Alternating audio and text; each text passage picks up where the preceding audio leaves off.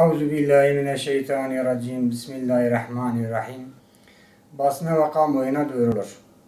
Siverek İkra Sosyal Yardımlaşma ve Dayanışma Derneği'nin 2013 yılı içerisinde 9 aylık faaliyet raporu aşağıdaki gibidir. 660 a- aileye gıda yardımı. 100 aileye çoğunluğu Suriyeli olmak üzere ev eşyası yardımı. 200 aileye et yardımı yaptık. Ramazan ayı içerisinde ise 150 aileye giyim yardımında bulunuldu. Ve yine 20 yetim çocuğu 3 parçadan oluşan kıyafet yardımını yaptık. 5000 TL nakdi para yardımı ihtiyaç sahipleri için dağıtıldı. 2013 yılı içerisinde yaptığımız tüm yardımların toplam tutarı 55.100 TL'dir.